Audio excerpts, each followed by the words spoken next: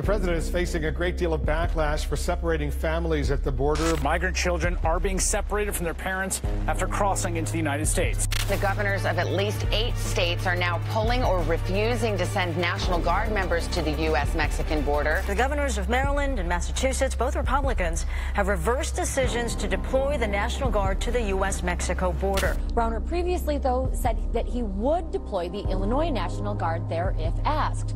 The governor's opponent in November's election, Democrat J.B. Pritzker, is calling on Rauner to retract that stance. J.B. Pritzker is pointing the finger at Governor Rauner. He's even launched an online campaign urging voters to call the governor out for being, quote, President Trump's silent partner. He wants him to revoke his offer to send National Guard troops to the border. After previously dodging the question, Rauner weighed in Tuesday. When asked about it, Rauner had little to say. I'm not giving that any thought whatsoever. The governor did not answer a question about whether he is still committed to sending National Guard troops to the U.S. Mexico border if the president asks. I'm not giving that any thought whatsoever.